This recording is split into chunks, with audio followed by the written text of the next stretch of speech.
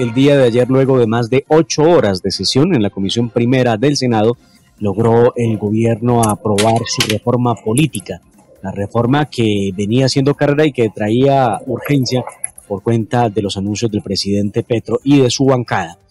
Pues eh, se ratificó la reforma, o se logró aprobar en primer debate, más bien en Comisión Primera de Senado, es una reforma constitucional que tendrá ocho debates, ya logró el primero, va para el segundo dentro de ocho días, que ha sido el término que entregaron para que se rindiera ponencia ante la plenaria del Senado. Eh, entre los temas que hay que destacar está el tema de listas cerradas, que se logró aprobar. Lo que se ha argumentado es que con las listas cerradas se evita la compra y venta de votos y el clientelismo y también eh, se estipuló la financiación prevalentemente estatal a los partidos políticos no a los candidatos, y la obligatoriedad de la paridad de género e entidades, e identidades diversas, lo que ha generado una verdadera polémica porque si hay una persona que no se identifica ni como hombre ni como mujer, entonces quedaría por fuera de la posibilidad de hacer parte de las listas eh, al Congreso de la República o las corporaciones eh, populares. Asimismo, se abrió la puerta para que los congresistas puedan ah, hacer uso del famoso transfugismo y para que también puedan ser nombrados como ministros del gobierno de turno. Los puntos esenciales que trae esta reforma política son los siguientes. Los partidos solo podrán inscribir listas cerradas y bloqueadas con garantía de universalidad, eh, también de alternancia y de paridad de género. Esto significa listas cremallera, asunto doctor Fernando de Oyentes que ya se ha tratado en España y no ha tenido la, el mejor resultado no significa porque tenga listas en cremallera que haya mayor o mejor participación de hombres y mujeres. Eh, se establece el deber de implementar mecanismos de democratización interna en las colectividades. Eh, en caso de no, pues hay sanciones que caería sobre los partidos, inclusive la pérdida de la personería jurídica. La financiación de los partidos va a ser estatal, e irá directamente a los partidos, no a los candidatos, lo que elimina el conflicto de intereses personal que se presenta cuando la financiación se hace personal. Eh, si un miembro de una corporación pública se presenta a la siguiente elección por un partido distinto, deberá renunciar a su curul al menos seis meses antes de la inscripción y se garantiza que quienes quieran aspirar a un cargo de elección popular deberán tener como mínimo una militancia de seis meses dentro de esa colectividad por la que serán elegir. Se autoriza por una sola vez que los miembros de los cuerpos colegiados de elección popular eh, o quienes hubieran renunciado a su curul puedan inscribirse en un partido distinto al que los avaló sin renunciar a su curul o incurrir en doble militancia, que es un asunto que hoy se ve. Para fortalecer lo que ellos han llamado la cultura de la participación de las, eh, de las elecciones y de la, eh, la cultura electoral, se crea el voto obligatorio por dos periodos constitucionales consecutivos para ver cómo funciona. Otro asunto de mayor polémica, doctor Fernando, porque en el mundo solo 24 países tienen voto obligatorio. Muchos de ellos están en Latinoamérica, efectivamente, pero eso no garantiza precisamente que haya mayor legitimidad a la hora de las elecciones. Los congresistas pues van a poder hacer tránsito al Ejecutivo, lo consideren así, en el gobierno de turno. Son estos pues los puntos fundamentales de esa reforma política que se aprobó ayer en primer debate, le faltan siete debates a la reforma, pero ya hay asuntos como el voto obligatorio y asuntos como el de paridad o el de listas cremallera que siguen siendo un problema y de mucho debate en el Congreso. No cabe ninguna duda, de las listas abiertas fui siempre su enemigo. Recuerden ustedes cuando siendo ministro dije que qué pensarían las personas que estaban trabajando sobre las listas abiertas, que no han traído sino desventura. Esa es la verdad.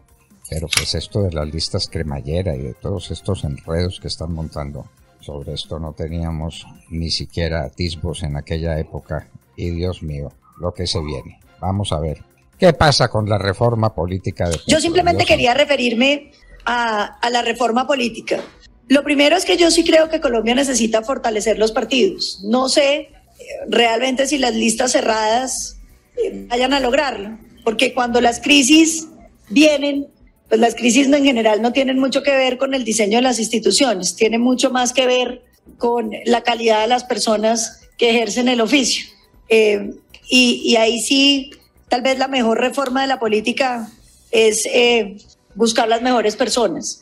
Pero yo creo que aquí hay unos elementos que son importantes. Yo creo que las listas cerradas pueden devolverle importancia a los partidos y a las ideologías. Por eso es que no entendíamos el artículo del gobierno donde se iba a poder tener personería jurídica con el 0.02% de militantes, porque es eso volver a partidos unipersonales eh, y que sería muchísimo más grave con una financiación estatal, porque entonces quiere decir partidos unipersonales además financiados por el Estado. Ese sí sería eh, la destrucción de cualquier sistema político.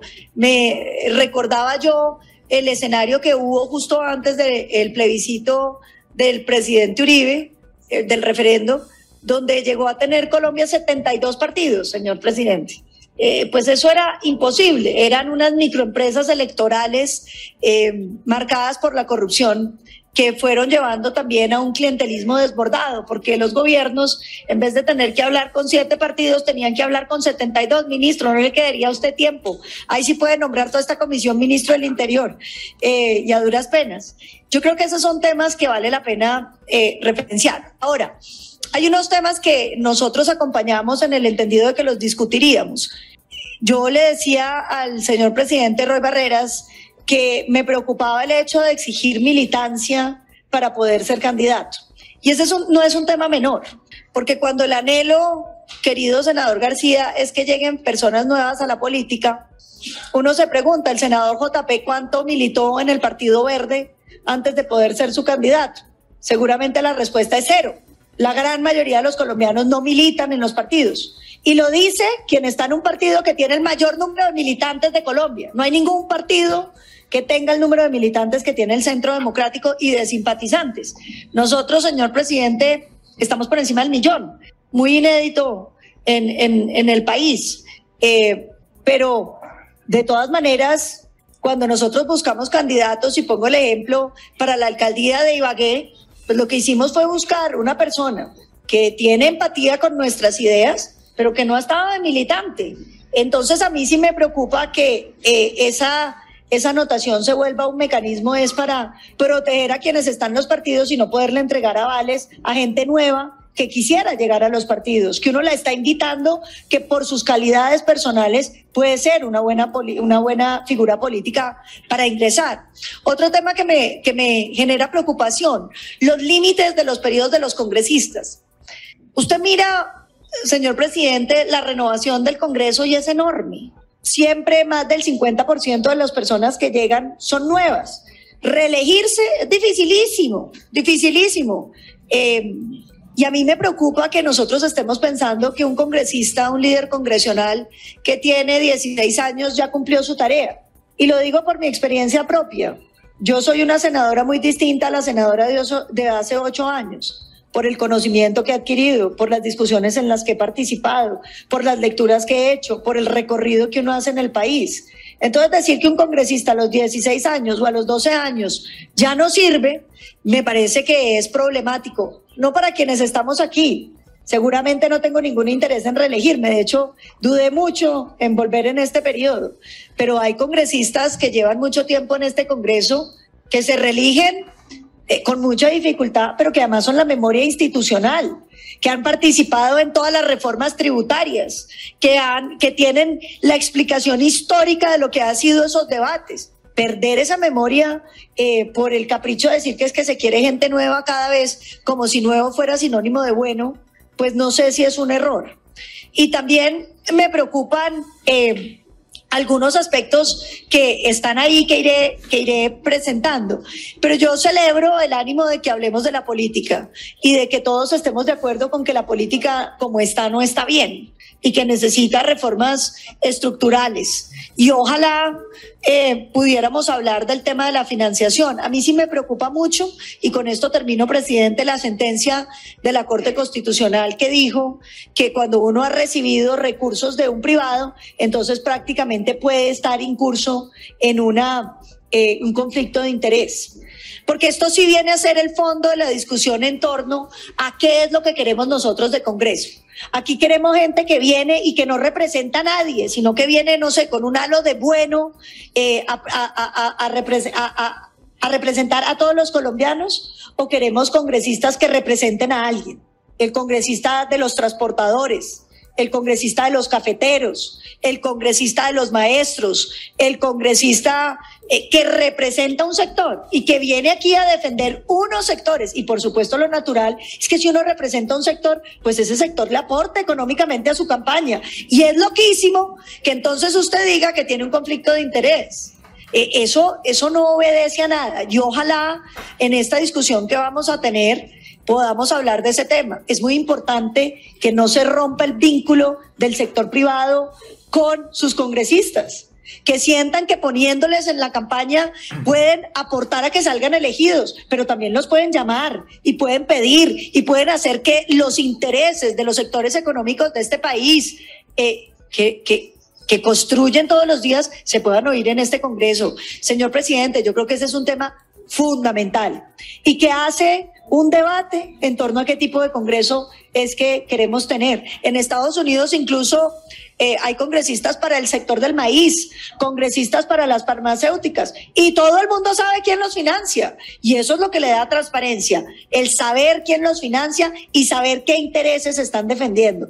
Pero pretender que los congresistas no representen a nada, señor, a nadie, señor presidente, me parece que es iluso y que lo que va a llevar este país es que se esconda a quién están representando y terminemos en un mundo muy oscuro donde los intereses no son claros. Bienvenida esta iniciativa, votaremos positivamente eh, la proposición con la que inicia, volviendo a explicar que no firmamos eh, la, la, ponencia, no porque no participáramos, porque ahí estuvimos muy activamente, sino porque a última hora se incluyó un artículo del límite de los periodos que no compartimos y que como no estaba y no podíamos excluirlo, no lo hicimos. Pero estamos listos para este debate. Gracias.